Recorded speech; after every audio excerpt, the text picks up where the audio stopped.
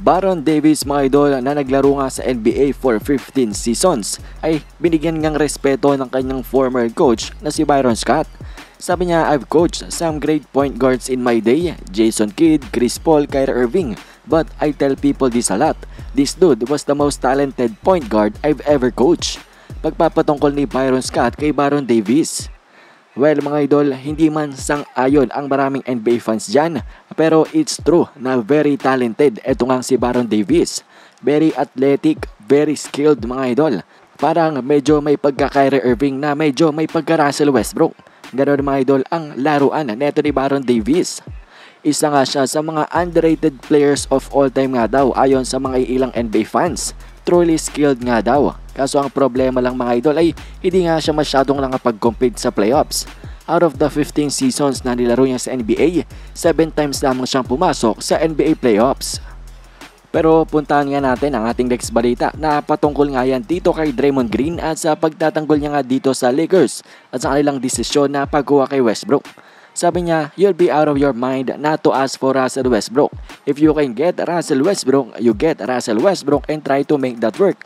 Because if it works, who is going to stop you? Kumbaga, ang ipinapalabas ni Draymond Green na tama yung ginawa ng Lakers na pag-acquire kay Westbrook. Yung problema lang talaga nila ay hindi nila mapagana.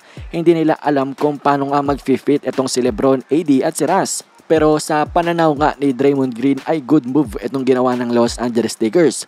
Dahil kung ma-figure nga daw nila ito ay talaga namang malakas nga daw ang trio na ito. Kaya nga ang tanong niya, who is going to stop you? Pero para na nga sa ating panghuling balita ay pag-usapan nga natin ang sinubukan na 4-team trade netong Lakers. Ayon nga sa latest report na ito, the Lakers, Jazz, Knicks, and Hornets discuss a 4-team trade that would have sent Boyan Bogdanovic and Terry Rozier to LA. So obviously, hindi gumana itong discussion na ito at walang deal na nangyari. Pero kung sakali sana ay maganda sanang deal ito para nga sa team ng Lakers kung si Westbrook lang talaga ang ipapalit nila at minimum ng first round pick. Dahil ito ang si Terry Rozier mga idol ay bonafide scorer nga. Last season ay nag-average nga siya ng almost 20 points per game, 4 rebounds, 4 assists on 37% field goal percentage sa 3-pointer which is very efficient. Sobrang fit niya nga beside Lebron James at Anthony Davis nang dahil magaling ito sa catch and shoot mga idol at kayong umiscore in a short amount of time. Playmaker, scorer, yan nga itong si Terry Rozier. Tapos dagdagan na pa nga ng isang Boyan Bogdanovic na bonafide 3-point shooter. One of the best sa NBA. Kaya naman mga idol, for sure, nanghihinayang itong si Rob Pilinga na walang trade na nangyari, walang deal na natapos sa 4-team trade nga na kanilang pag-uusap netong Jazz, netong Hornets, pati na nga rin ng New York Knicks.